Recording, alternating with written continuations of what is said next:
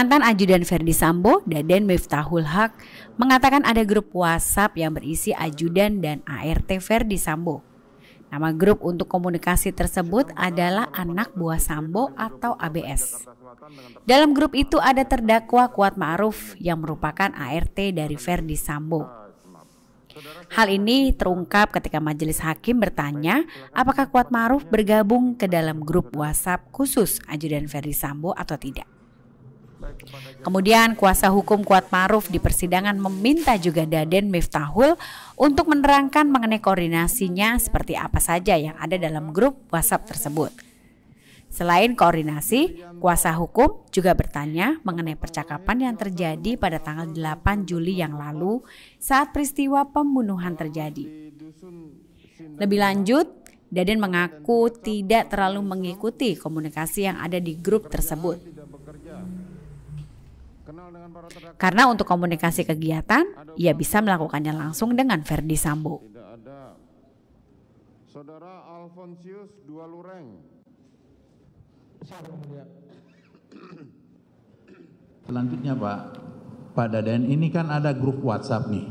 Siap. Yang isinya uh, ajudan semua ya. Siap. Kecuali uh, air, Pak Kuat juga ada di situ di grup WhatsApp itu. WhatsApp. Uh, Mohon izin Pak, ada beberapa grup memang di situ Pak. Oh ada grup yang, berapa yang grup WhatsApp yang ada? Seingat saya grup keluarga, Duren 3, terus untuk semua kru kecuali asisten itu ABS dan grup khusus ADS. Yang ada Pak Kuat seingat Bapak di grup WhatsApp mana namanya? Kalau tidak ABS Pak. ABS. Singkatan apa anak, anak buah Sambo itu? Ya? Anak buah Sambo. Oke. Nah dari komunikasi tanggal 8 itu ada hal-hal yang yang menurut Bapak dibicarakan penting di tanggal 7 misalnya?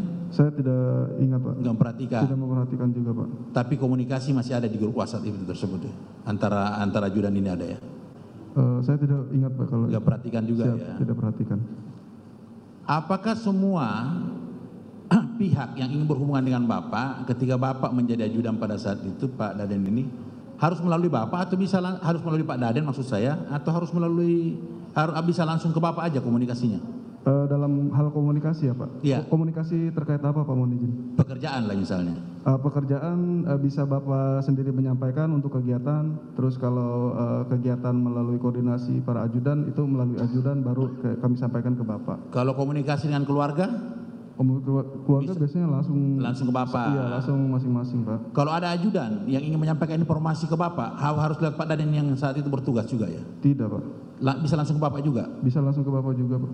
Jangan lupa subscribe ya.